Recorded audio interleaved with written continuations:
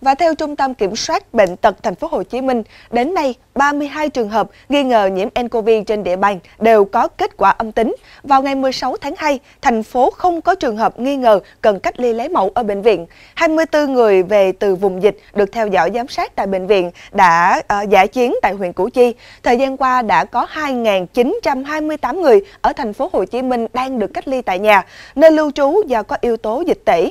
Hiện 2.091 người đã hết thời gian theo dõi. Và thưa quý vị, chúng tôi xin được tiếp tục cập nhật một cái thông tin vui liên quan đến việc chống dịch Covid-19 tại nước ta.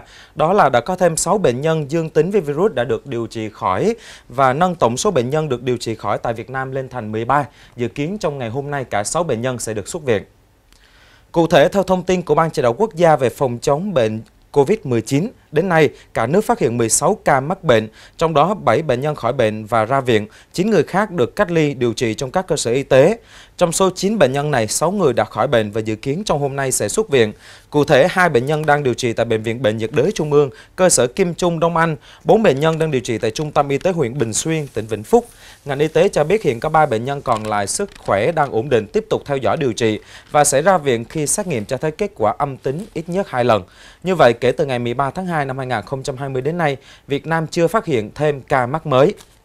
Theo quy định của Bộ Y tế, người bệnh được xuất viện khi có đủ các tiêu chuẩn sau: hết sốt ít nhất 3 ngày, các triệu chứng lâm sàng cải thiện, toàn trạng tốt, các dấu hiệu sinh tồn ổn định, chức năng các cơ quan bình thường, xét nghiệm máu trở về bình thường, X-quang phổi cải thiện. Bên cạnh đó, hai mẫu bệnh phẩm lấy cách nhau ít nhất một ngày, xét nghiệm âm tính với COVID-19.